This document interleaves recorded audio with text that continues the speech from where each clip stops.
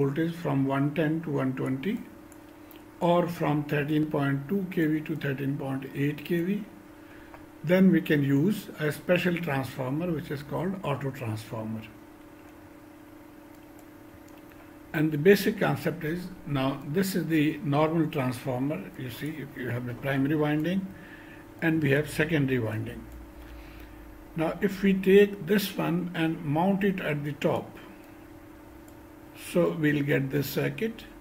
And this circuit is now uh, will be called auto transformer and couple of things related to auto transformer is now this is this configuration is what is called uh, voltage up transformer. Or here the input is increased. And or step up transformer but this configuration is step down configuration. Same thing we are now taking the output from here and the input is connected here. So these are the two configurations. And now this is a normal transformer with two windings primary and secondary winding. And this is auto transformer. One winding is uh, wound over the other winding Now mm. one important difference between the two winding transformer and the auto transformer is that the windings of two winding transformer are electrically isolated. Now there is no connection between the two windings in case of a two winding transformer whereas the, those in auto transformer are connected directly. Now in auto transformer the primary and secondary are connected directly so they are not isolated. So in situations where we require isolation, we cannot use auto transformer.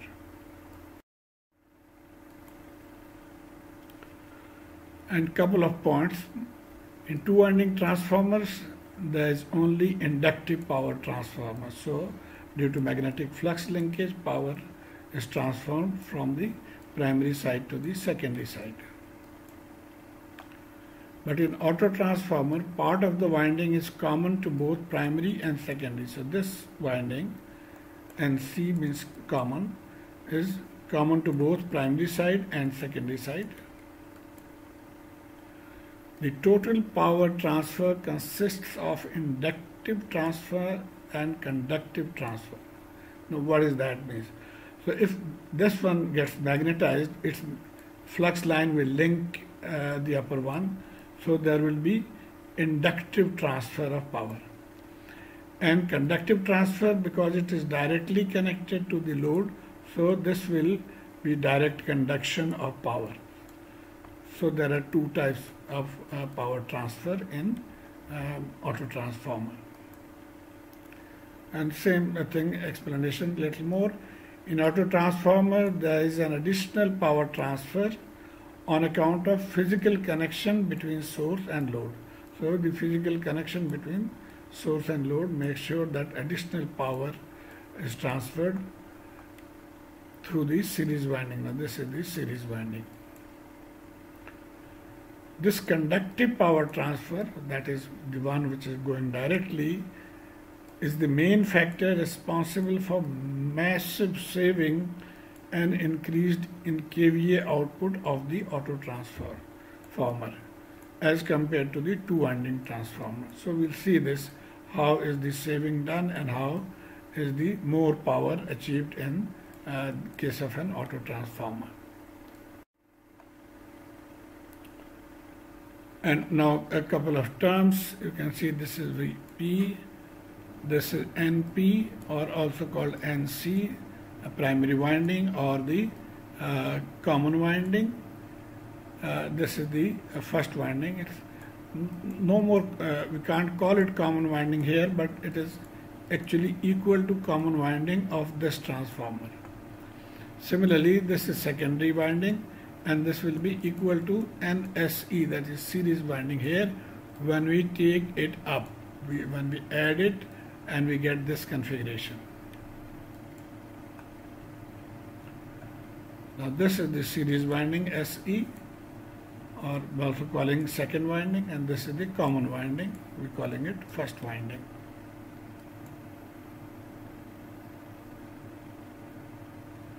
Now the voltage here which is common on both sides is called VC this is VL that is lower side or the primary voltage and this is V common the voltage across the series winding is called VSE and this is the uh, volt low voltage or VL and the combination of the two voltages is actually the high side voltage or VH. Now we can see from here that VL is equal to VC that is V of uh, low voltage is equal to the common voltage whereas on the high side V high is equal to VSE plus VC, so VC plus VSE. Also look at the current, IL current flowing in, it is dividing into two paths. So we can say that IL is equal to IC plus ISE, IC plus ISE. And IH is actually ISE. Now this is IH and this is ISE, so same, uh, same current. We also know for general transformer that the voltage ratio that is V1 over V2 is equal to N1 over N2. So keeping this in mind, we can also write that the V low over V high is equal to this uh, turn ratio NC divided by the sum of the turn ratio, so NSE plus NC. And we know that in case of a current, the turn ratio uh, reverses. So this one will go at the top and this one will come at the bottom. So IL over IH is shown here.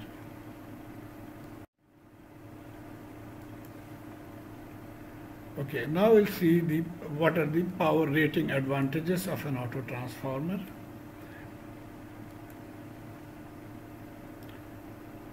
Now in this figure we can see that the input apparent power of an auto transformer Sn is VL into IL. So this is the input power. And the output power is voltage, high voltage VH multiplied by the current. Remember we are talking of apparent power that is why we are using symbol S for apparent power. We also know that the both sides of the transformer power are equal, so Sn is equal to S out. And this in the book has been given another name, he's calling it SIO, that is input and output, they are same. But I prefer to call it S auto. Uh, there is a lot of confusion uh, with all these things. It is better to write it as uh, auto transformer or power of the auto transformer. Now keep in mind that the auto transformer was made by connecting the primary and secondary terminals of a normal two-winding transformer. So this is normal two-winding transformer and we put it here, added them together to get the auto transformer. So power ratings of the individual windings can be written as primary power and secondary power. So this power is primary power and this power is secondary power. We call them S2 and the power will be equal uh, on both sides. So the apparent power ratings of the transformer windings, we can write it as SW is equal to VCIC one side this is VC and IC it is also equal to the second side that is VSE ISE and I'll prefer to write it as S2 winding transformer. So this is two winding transformer just to distinguish between S auto and S2 winding transformer so we had found this relation now what we are interested is, is to find the relation between the auto power, auto transformer power and the two winding transformer power which in this book has been written as SIO and SW, but I prefer to write it S auto and S2 winding. Now S2 winding is from here, we can write, just write VCIC and also S input output or S auto is also equal to S in which can be written as VLIL. This is uh, the auto power. It can also be written as VHIH. Okay, now we'll we'll take this one and we'll try to find it or relate it to uh, auto transformer. This formula VLIL. What we want is SW is VCIC. We want to relate it with VLIL uh, to get the relation between the auto transformer power and the two winding power. Now this is two winding power. Now from here IC is, you can see IL was IC plus IH. IL is IC plus IH. From here we can write IC to be IL minus IH. So we plug this in, so we get this term. Now this is in terms of VLIL, but this one is not. So we have to uh, also make this in, in terms of a VLIL. Okay, to do that, we now know the relations uh, we had seen in the previous slide, the relation between the two currents. IL over IH was given by this relation in terms of a turn. So from here, IH can be written as IL into this term. So we plug in this value here. So plugging in and solving and solving, so we get this relation. Now this is the relation between the uh, two winding power and the auto transformer power. And from here we can write S uh, auto I0 divided by S winding. And to be more clear, we know that this is the ratio of auto over two winding transformer. So we'll use this uh, to calculate, uh, to, to do the mathematical calculation. So this is the uh, relationship between the two windings and auto transformer. Now let's uh, do um, a very simple example. This has been taken from a book by Mr. Saadat. Very clearly he has explained a two-winding transformer is rated to 60 kVA. So the transformer is rating to 60 kVA, that is the power. 240, 112, uh, 240 slash 1200, that means input is 240 volt and output is 1200 volt and 60 hertz and there are some more things not relevant. Uh, this transformer is to be used as a 1440 over, over 1200 volt step down auto transformer in power distribution system. So how do we get the auto transformer? Uh, we will connect this at the top to get this relation but we'll first of all Assuming an ideal transformer, find the transformer kVA rating when used as an auto transformer. So we have to find S auto.